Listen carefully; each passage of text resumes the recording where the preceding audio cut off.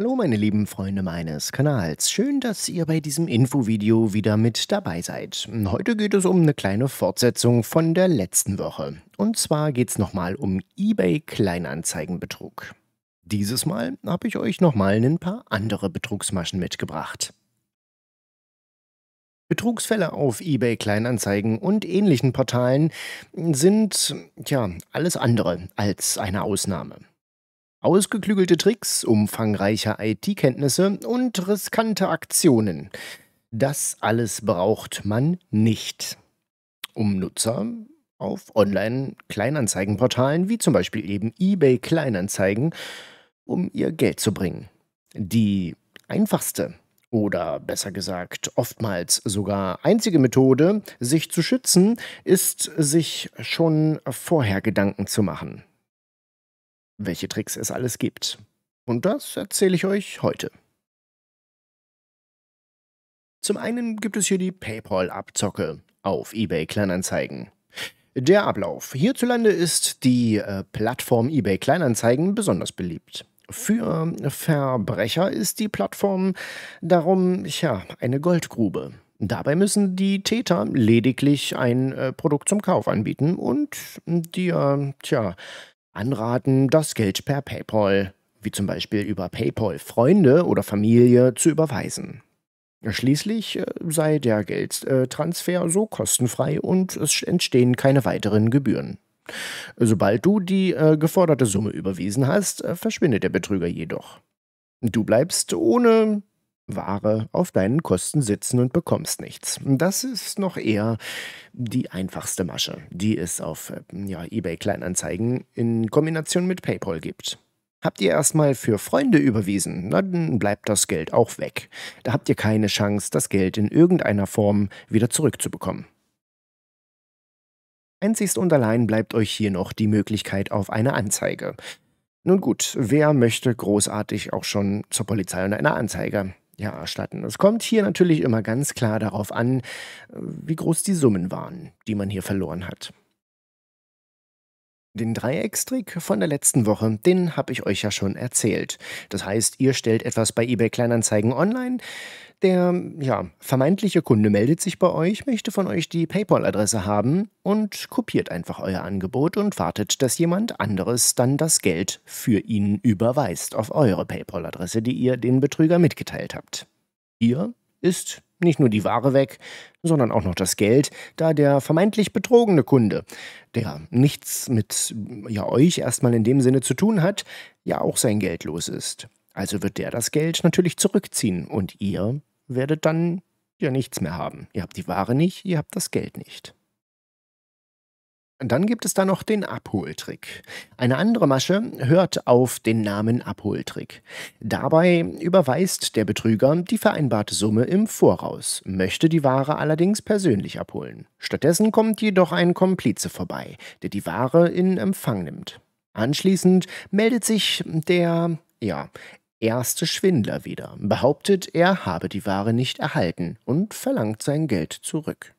Die Masche kannst du jedoch äh, ja ohne große Mühe entgehen, indem du schlicht und äh, ja also schlicht auf eine ja, Barzahlung bei der Abholung bestehst. Ganz einfach. Eine Barzahlung bei der Abholung ist auch generell die wohl sicherste Methode, die man überhaupt bei eBay Kleinanzeigen für den Finanzaustausch ja vonstatten finden lassen kann. Austauschfalle. Bei dieser, äh, bei dieser Masche verfügt der Betrüger bereits vorab über tja, ein meist teures, jedoch defektes Produkt, Ware A. Er sucht sich deshalb Geräte in eBay Kleinanzeigen oder auf einer anderen Plattform, erwirbt es Ware B und überweist auch den vereinbarten Kaufbetrag.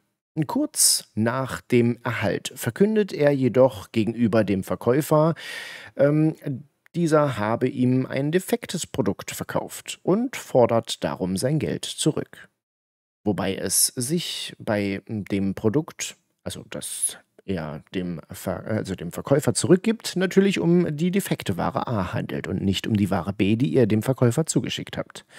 Das heißt, er schickt euch dann einfach etwas Kaputtes zurück, wenn er das gleiche Produkt besitzt. Ist natürlich auch eine Masche, um dann ein intaktes Produkt zu bekommen. Kreditkartendatenbetrug. Bei dieser Masche, tja, bedienen sich die Cyberkriminellen der eigentlich sicheren Bezahlfunktion von eBay Kleinanzeigen. Im Rahmen dieser verwahrt, also in, in diesem Rahmen verwahrt eBay beziehungsweise dessen Partner Plattform für den Zahlungsdienst in Treuhand eigentlich das Geld erstmal auf.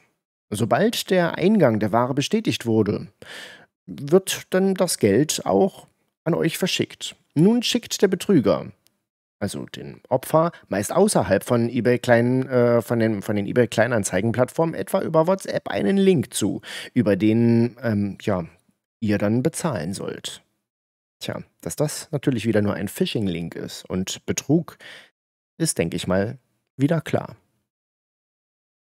Ihr überweist ihr nicht an eBay Kleinanzeigen, sondern ihr überweist das Geld direkt an den Betrüger und an seine Partnerplattform. Somit ist das Geld natürlich komplett weg. Und dann gibt es da noch den Betrug mit Western Union. Das heißt, der Betrüger, der meldet sich aus dem Ausland bei euch, möchte bei euch etwas kaufen und sagt, ja, über Western Union möchte er gerne das Geld an euch überweisen. Dann bekommt ihr eine E-Mail, sofern ihr diese E-Mail-Adresse vorher bekannt gegeben habt. Über die E-Mail bekommt ihr dann die Information, dass ja, Western Union das Geld so lange verwahrt, bis ihr einen Sendungsbeleg eingesendet habt an die E-Mail-Adresse von angeblich Western Union. Dass die Adresse nicht zu Western Union gehört, kann man mit vielen Tricks umgehen, dass es zumindest so ähnlich aussieht. Wenn ihr jetzt die Sendungsnummer mitteilt, freut sich der Betrüger und meldet sich nie wieder bei euch, denn ihr habt das Produkt verschickt. Das Geld bekommt ihr von dem Betrüger nicht. Auch wenn in der E-Mail drin steht, dass ihr irgendwann das Geld dann erhaltet, wenn die Ware eingegangen ist. Hier handelt es sich wie immer nur um Betrug und nicht darum, dass Western Union das Geld an euch später versenden möchte. Western Union hat meistens nicht mal was damit zu tun, sondern hier wird einfach nur der Name benutzt. Natürlich muss es auch nicht nur Western Union sein, man kann sich hier auch sämtliche andere Bankdaten und Banknamen ausdenken um den Betrug irgendwie glaubhafter zu machen. Das Wichtigste ist, man muss hier einfach aufpassen. Schützen kann man sich nur, indem man vorher nachdenkt und vorher überlegt. Lasst euch das Geld in Bar geben oder über PayPal und zwar nicht über die Freunde-Funktion. Ansonsten kann man das Geld auch direkt auf sein Konto überweisen lassen, allerdings muss man hierzu seine privaten Bankdaten rausgeben auch nicht so sinnvoll. Ansonsten gibt es bei eBay Kleinanzeigen noch die Möglichkeit, die direkte Bezahlfunktion von der eBay Kleinanzeigen Plattform zu benutzen. Hier seid ihr auch sicher. Allerdings möchte eBay Kleinanzeigen hier natürlich einen kleinen Taler von abhaben. Die Kosten übernimmt hier in diesem Fall der Kunde, also nicht ihr, wenn ihr der Versender seid. Ich hoffe, ich konnte euch mit diesen kleinen Informationen wieder ein kleines bisschen weiterhelfen und die Augen öffnen, was es alles so für Betrugsmaschen auf diesem Markt hier so gibt. Informiert daher alle in eurer Umgebung, dass es diese Maschen gibt. Umso mehr Menschen wir gemeinsam darüber aufklären, umso weniger Menschen werden von diesen gemeinen Maschen auch betroffen sein. Klar ist, dass wir nicht immer alle schützen können. Und klar ist auch, dass wir nie alle verstehen werden, wie man auf so etwas hereinfallen kann. Doch allerdings gibt es sie, die Opfer. Teilt da sehr, daher sehr gerne meine Videos auf den sozialen Medien, direkt im Chat oder eben auch im Umfeld mit euren Freunden.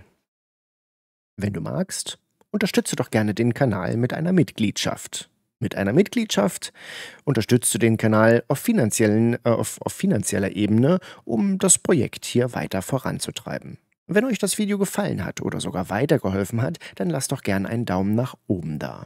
Abonniere gerne den Kanal, wenn du keine weiteren Videos mehr verpassen möchtest. Am besten mit Glocke, denn dann bekommst du auch immer eine kleine Information, wenn es etwas Neues auf diesem Kanal gibt. Wenn du magst, dann klicke jetzt noch auf das letzte Video oder schau dir doch gleich die komplette Playlist an.